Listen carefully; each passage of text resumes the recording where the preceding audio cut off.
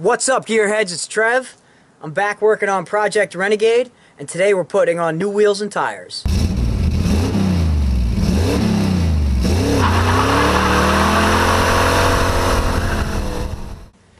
Hell yeah! Got the new wheels stacked up at the apartment. Man, it's amazing what you can fit in the back of a Jeep with taking the rear seat out and a little bit of ingenuity. 140 bucks. Check these out.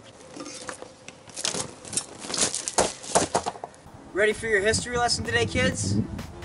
So from 90 to 93, you could get the Renegade package on your Wrangler YJ if you wanted. There's a few interesting things about the Renegade. Other than the body kit, which is what made it really pop, but also what made it not so popular, the Renegade was actually the second best package you could get on a Wrangler. The only other option that was a step above the Renegade was the Sahara. The Renegade came with the body kit, off-road shocks, 30 inch by 9.5 inch tires, and they were mounted to 15 by 8 inch wide rims, aluminum alloys. That's what most Jeep guys upgrade to. Now when Chele got her Renegade, aside from the spare, it was missing all the correct wheels, and the spare wasn't exactly in the best of shape. Nope, her Jeep had the old steel five spokes. Someone had sold off her wheels at some point.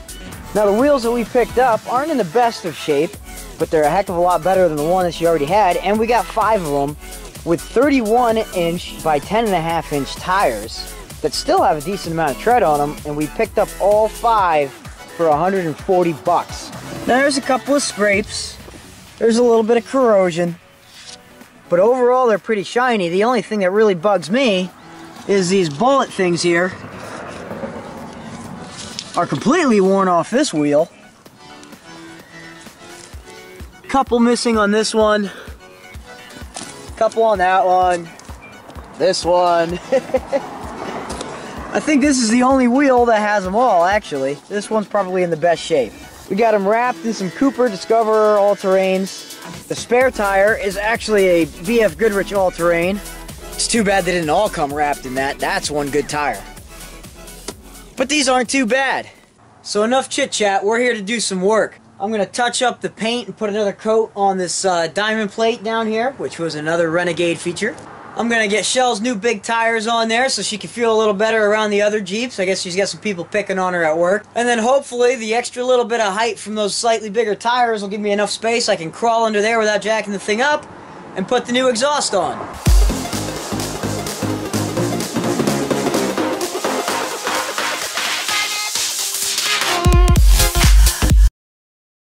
Well, I don't know how far the time lapse with the GoPro went because, as GoPros are notorious for, the battery died.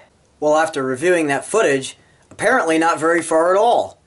And, not to mention, the guy who welded up the back of Chele's frame there doesn't know what a torque stick is, apparently, because holy crap, did I ever have a time getting those back wheels off. Dude. But, spare tire on. I had to take the uh, bumpers off, the rubber bumpers off from the back so that it would fit because a 10 and a half inch wide tire, I couldn't get it bolted on with those bumpers. But this thing looks like a whole new Jeep.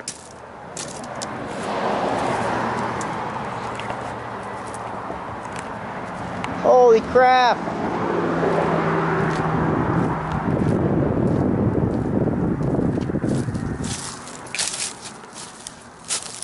Take those little tires off, put the correct wheels on.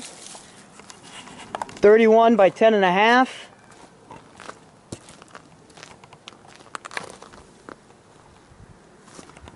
That looks awesome. Tires now come out flush with the fenders instead of being all tucked in and looking all wimpy. Those wheels look great. Really adds a lot. And this thing just got a lot taller too. You wouldn't think an inch in overall tire diameter would make that big a difference, but this thing got big. I'm sure the wide angle's skewing it a bit too, but trust me, in person, this thing looks like it's ready to hit some trails. I know Chele's going to be excited.